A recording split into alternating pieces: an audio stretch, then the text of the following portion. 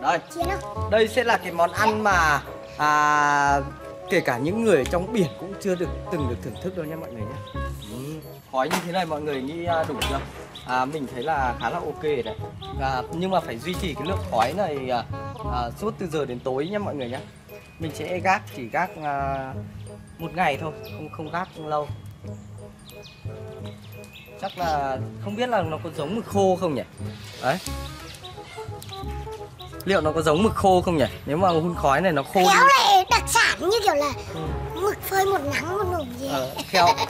Khéo lại à, à, phát minh ra cái món mới à, gọi là gì nhỉ? Đặc sản mới. Mà cũng khéo là cũng béo chó. Chó chả thèm ăn đấy. rồi thì đây thôi. À bây giờ chỉ trông để cho cái khói giữ cái lượng khói nó nghi ngút như thế này thôi anh em mình à, có duyên với ẩm thực trời mưa thì phải mọi người ạ. À, đang làm à, à, à, hải sản sông khói thì Đúng là vừa đấy một tí đã mưa gọi là mực à, gác bếp thì nó lại mưa. Vừa được khoảng tầm 30 phút rồi nhá. Đây mày cầm ô anh xem à, qua cái này à chà. Cũng à, giống thịt trâu hết đấy. Thấy nó khô khô rồi. Bắt à, bắt đầu khô xe mặt rồi cũng được đấy. Khả năng là từ giờ đến tối là thành à, mực khô mực khô này. Bạch tuộc khô. Úi giời.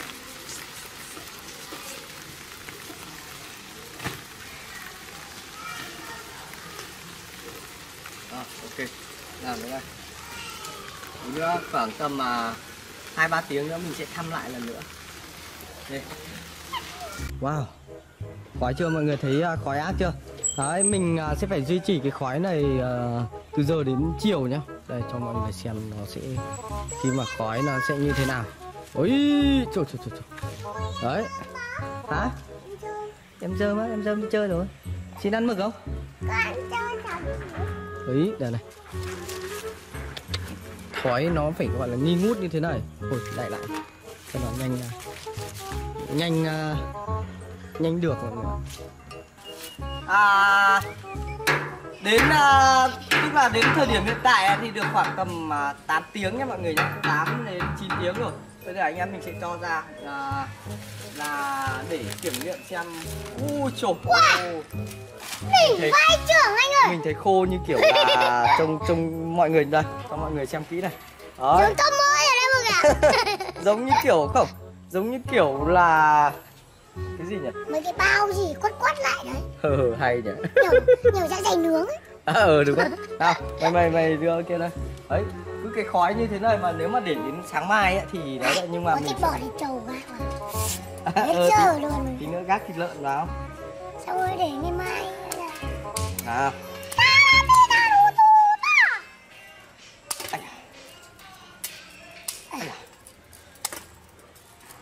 ấy khô đét vô nàng luôn. Không biết ngon không nhưng mà khô thì khô những cái đồ gác bếp vẫn phải nướng tiếp. Anh em mình sẽ cho ra để chuẩn bị chế biến uh, nướng tiếp nhé mọi người nhé. Đấy để xem nào. Chắc ăn được luôn đấy mày thử ăn luôn xem nào. Em Đấy. luôn. Wow.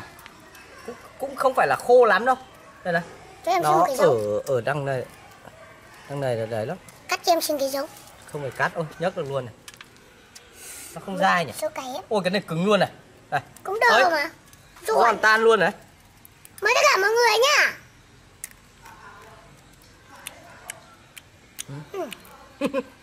Ăn mực ngon nhất. mực khô thì rẻ nhưng mực khô. Mực khô thì làm gì giòn? Ừ. Ừ. ăn giống kiểu gì nhỉ? Nhưng mà cái quá. Hơi cay thôi. Được thôi cứ nướng mình ngấm ngơ. Tí uh, bây giờ mình sẽ uh, cho lên nướng lại. Ôi vẫn còn nước này. Con này vẫn còn nước ở trong này. Ừ. khô nhưng mà nó đấy bây giờ sẽ phủi vào bớt uh, cạo vào bớt cái uh, Không nó khét. cái uh, đấy đi. Cái uh, ớt. Xong rồi anh em mình sẽ cho lên nướng lại nhá. Anh đi bắt bên nướng em đây cạo đi. Lấy than ra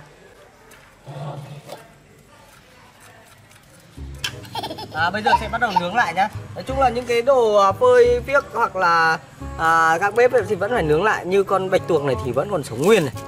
Cái đoạn này nó vẫn còn ướt này. Đấy. Mấy con kia thì lại khô rong rồi anh ạ. Mấy con này thì khô rong. Khô. Tức là mình cứ nướng lại cho nó chắc cú Ồ, Nó ngon hơn. thì ăn chia chimi được mà.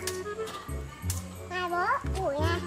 Ủi á nào cho vào đấy Sang đây, sang đây đi Đảo. cô nướng đi cô nướng đi cô nướng đi đấy con gì đấy xin. Con lợn. Bảy rồi Con nhỏ tí đấy mà bảo con lợn à? Con này cơ mà. Con lợn. Con lợn. Đưa nó cả cái trùng dâu rồi. Đây. Trùng dâu Còn đấy con gì? Bảo lắm không bỏng Con lợn. Phải đâu. À. Mạch tuộc ấy. Con mực đấy con mực Con mực, đấy con mực. Con mực á đây con bạch tuộc à Đấy bây giờ sẽ à, nướng à, nướng lại nướng lên nhá mọi người nhá. Bây giờ mày à, trông nhá để anh làm mua bia ừ. có đây phải có bia. Cả nữa Ừ. À chín rồi đấy mọi người nhá. Vậy là sau khi khoảng tầm 10 tiếng thì anh em mình mới chế biến xong cái món này. À, Nó cũng khá là kỳ công. Nhưng mà nhìn cái con bạch tuộc sau khi nướng lên nữa này. Thành một không phải nói là đâu nhưng mà mình thấy nó nó ảo diệu thật đấy. Nó to như như thế này Xong nó quắt như thế này. Rút cái đấy. Thế là thế nào? Bây giờ anh em mình sẽ thưởng thức cái món mà gọi là có 102 này nhé xem ngon không. À, Chưa chắc những anh em ở trong biển đã được thưởng thức cái món này đâu. Tại vì món này mình thấy chưa ai làm đâu. Đây.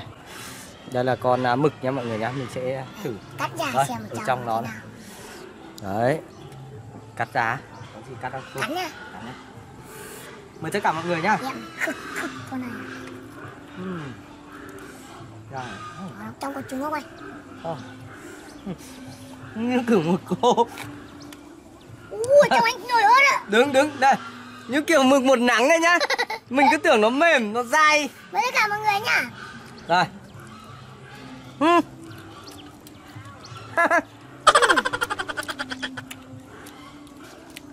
Ừ. ừ. ăn à, mình không ướp gì đâu nhưng mà nó cũng có một vị mặn mặn nhá. Anh nhớ ở trong. Đây dài này. Úi rồi úi trời trời trời trời trời trời trời úi rồi đây xé thành thành hình à, đấy được nhá. Đấy ấy ra ấy ngon phết đấy. Wow. Ừm. ăn nhá. Nó dai. Nó đứng như kiểu ừ, Ừ, không phải dạng mực ăn nắng to hơn rồi không? ừ. Không phải thuộc như dạng mực một nắng mà nó nó vẫn mềm. Vẫn dai. À, Hơi đậm đậm. Ừ. Ngon phết. Món này nhậu à, tới bến này. Ok đấy.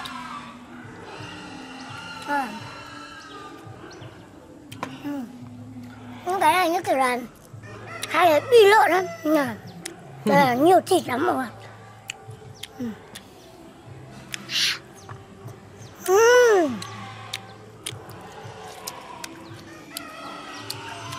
Ăn nhá.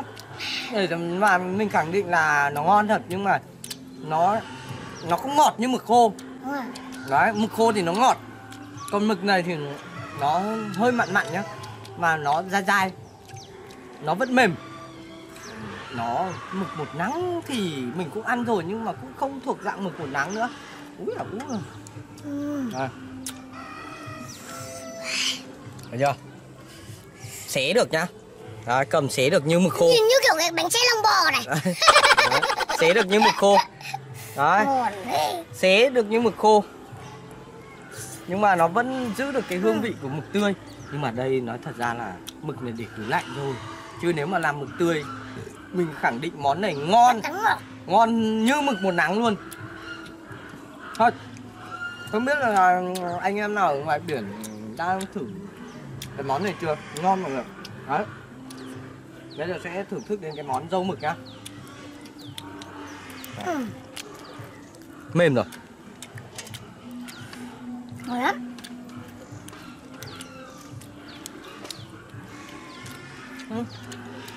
Cái dâu mực ngọt hơn. Nhưng mà nó nó dai nhưng mà ở trong nó cũng mềm. Cũng đại khái giống giống con này nhưng mà ngon hơn tí. Cái dâu nó tuyệt vời. Ok đấy, món này ok. Ăn mấy cái mực khô này phải nhai kỹ ạ Ngọt lắm nhỉ ừ. Ừ. càng nhai càng thấy nó nó nó bùi á nó nó không được ngọt như mực khô nhưng mà nó bùi ừ. dài nó đối với nhai cảm giác đấy này Dài. anh đừng thách em ừ. Ừ. à, dài đúng không và dài nhưng mà vẫn mềm và không ạ đúng nhai nó không phải như mực tươi à, không nghiền này à máy nghiền ra đa cấp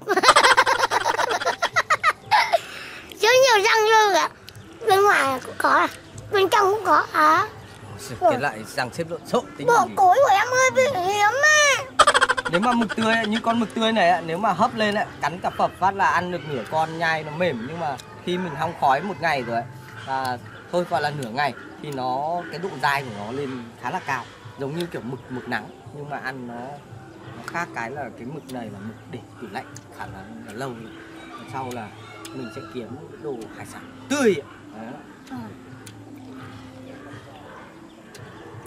À, bây giờ sẽ thử đến cái con à, đây là con bạch tuộc nhá con bạch tuộc nó to phết rồi bây giờ mình sẽ thử nó nhá